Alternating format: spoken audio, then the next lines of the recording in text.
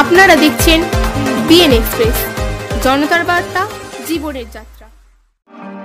এবার বিশ্বভারতীর আঁচ ও তার উত্তেজনা এসে পড়ল খোদ মধ্য কলকাতার জোড়াসাঁকো ঠাকুর বাড়িতে আজ রাজ্য বিজেপির ডাকে একটি প্রতিবাদ কর্মসূচি ছিল।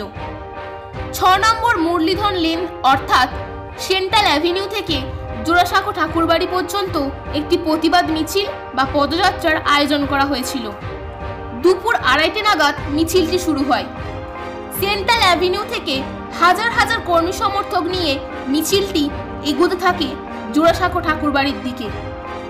আগে থেকেই ঠাকুরবাড়ির গেটের সামনে কলকাতা পুলিশের বিশাল বাহিনী মোতায়েন ছিল।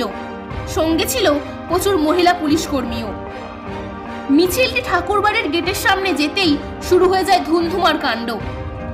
বিজেপি কর্মী সমর্থকদের সঙ্গে শুরু হয় পুলিশের ধস্তাধস্তি।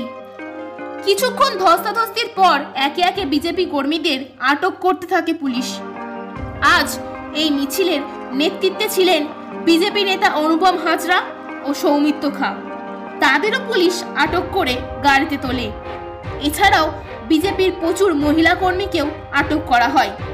এই পরিস্থিতিকে কেন্দ্র করে ব্যাপক যানজট সৃষ্টি হয়।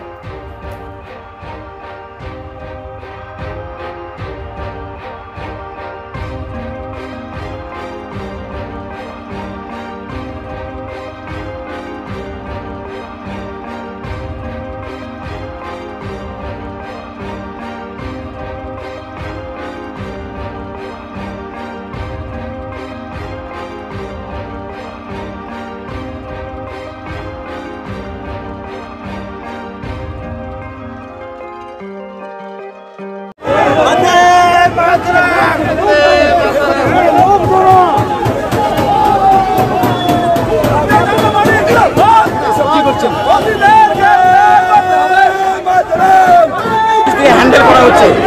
এটা কোন বাস করছি? যে আসছে। তাদের তাদের শারীরিক কাটি হচ্ছে এখানে ধাক্কা লেগে হচ্ছে।